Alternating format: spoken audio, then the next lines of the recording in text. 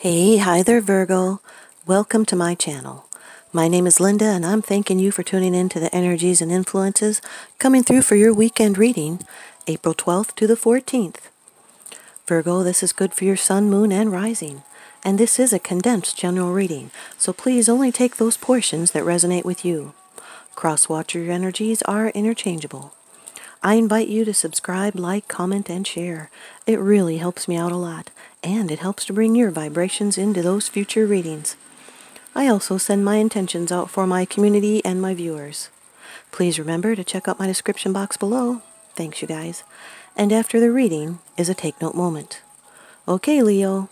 Off camera, I've done a protective blessing. I've shuffled and meditated over these cards just for you. Your first card it's the general atmosphere. It's the background and the basis of the matter. The Three of Pentacles, Virgo. This is earth energy, represents synergy and employment. This is support from teamwork and nice critics teaching you how to do it better. It's okay to listen to them. This is a lucky card. People are coming together to make something happen. It's a foundation being set the early stages of progress, and now a project begins manifestation. This is using your knowledge to turn a profit, yet there's still much to learn. You're rethinking your efforts to see if they match up with your long-term goals. There's assistance and contribution and teamwork. There's guidance and planning and mentors. And critics. Take critics as teacher. They really are helping you grow. Criticism helps. Helps you learn. Priorities are established, and plans are being put into action. There's initial successes here. There's integrity and ethics, as well as vision and skill and spiritual values you're bringing to this project. You're being cooperative and inspired by a team effort. This is skills and efforts and plans. You're discussing things and building up foundation. This is a quality of workmanship and using high standards and asking for opinions. Your second card, and this is the energy crossing over your path. This is great, Virgo. The Ten of Cups. This is water energy and represents shared love and homecoming. This is a happy family its contentment and lasting happiness because it's inspired from above. This is true love and perfect human love. It's better than expected, and you're going to be embarking on something that makes life worth living. A happy home and shared love and blessings. There's peace here and a grateful and joyous family, and you have enough happiness to share with those around you. There are emotional connections in your home life that are blessed. So take time to be grateful for all the love and happiness you have in your life and focus on what you do have, not on what you have not yet received. You see, the rainbow is symbolic of the connectedness with God, with creation, and of the fulfillment of great wishes, the fulfillment of lifelong dreams. It's a rainbow of promise, the ultimate in happiness. A lot of love is available both to give and receive. If you had a string of bad luck or anxiety about something, it's over and with good results. Your third card, and this is how it affects you. This is your attitude. The Ten of Wands, Virgo. This is fire energy. You're feeling overloaded, a need to bear up. This is someone burdened by life, and responsibility is wearing them down. There's something that you may not be able to let go of. But your problem is soon to be solved. These are beginnings and endings. They're ambitious burdens, perhaps a heart tried by pain. This is fortune and gain and any kind of success, and it is also the oppression of these things. This is your second 10 in the reading, which represents change.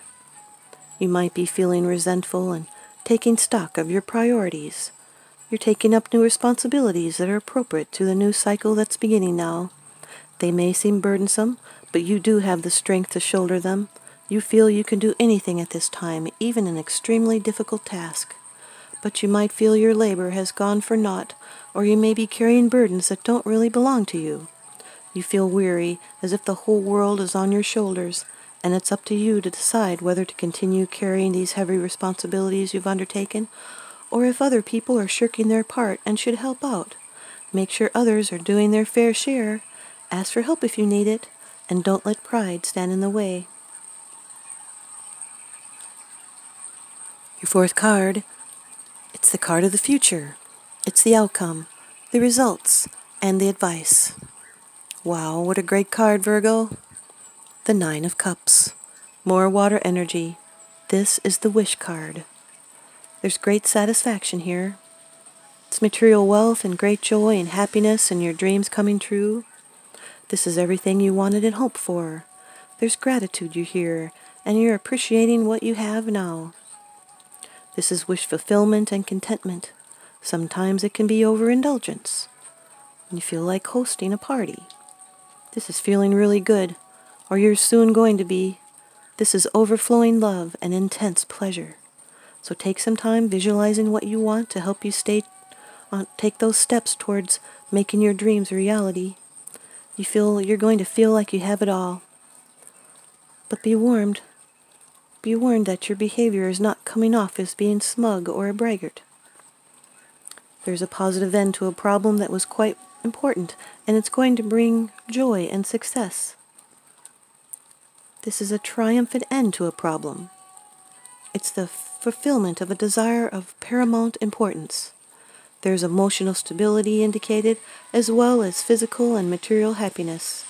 There's sensual pleasure indicated, satisfaction and enjoyment, peace and harmony, and it comes from within you.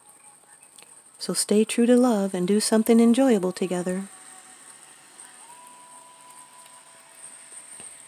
Your fifth card, it's the bottom of the deck card, the underlying issue.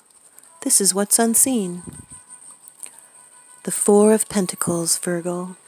This is earth energy. This is being cautious and stable and trying to have balance in your life and being conservative. This is holding on and being defensive in your comfort zone. But you might have a fixed attitude which would limit and block new opportunities But you're trying to save and be stable and cautious.